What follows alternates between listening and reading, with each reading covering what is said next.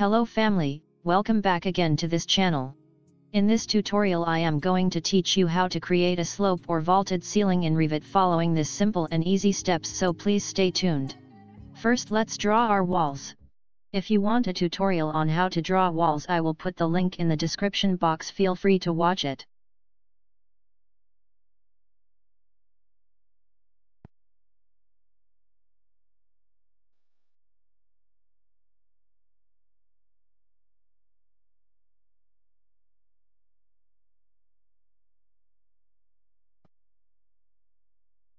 Then draw our roof. Please take note of the slope of the roof, it will be very useful to us.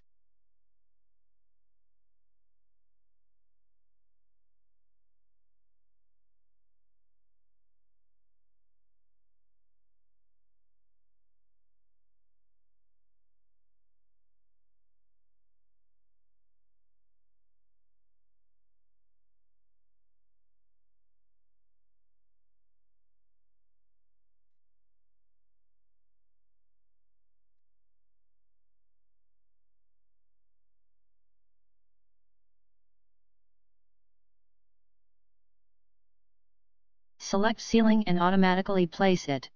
Make the ceiling height 3400.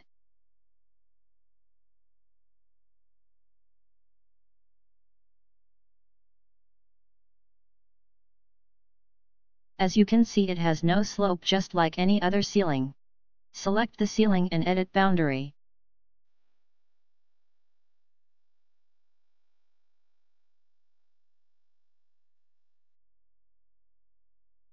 Locate the middle line and draw a line, trim and extend the lines.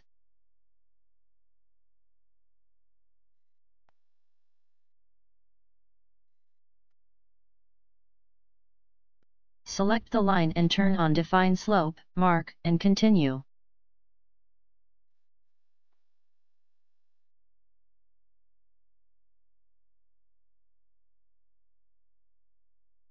Now select the ceiling and make the slope 30 degrees.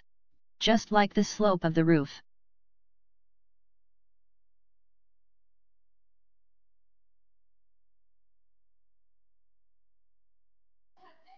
Go to Ceiling Plan and select your view, select the ceiling and mirror it to the other side.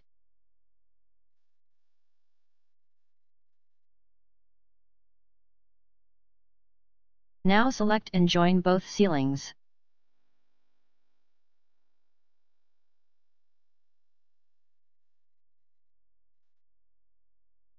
Turn the view back to realistic and put section box on in order to cut and view the final work.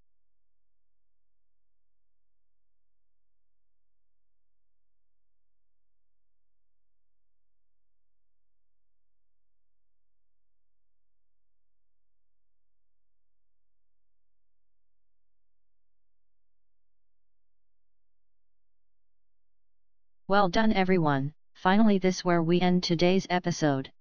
Please like and subscribe to show us support we will be very grateful.